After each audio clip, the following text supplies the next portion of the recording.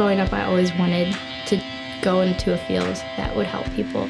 I took my first circuits class and like everything just like clicked and I was like, okay, this is what I want to do, I think.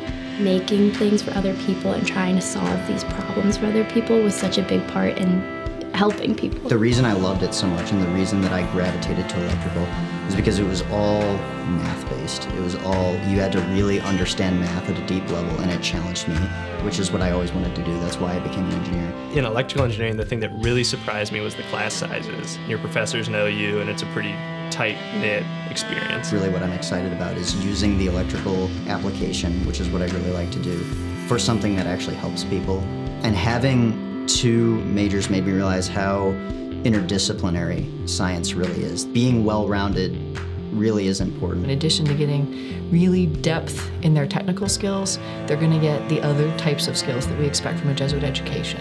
So they're going to get teamwork skills, they're going to get leadership skills, they're really going to get the ability to take their technical discipline skills and go out and make a difference and light a fire in the world. You know, when it comes to becoming the kind of person that you want to be outside of, you know, science, even though that's a part of it, when you meet a professor that's really interested in what they're doing and they really want to pass it on to you. The kind of person that's knowledgeable and wants to share their knowledge, that's the kind of person you want to be and you know it when you see it.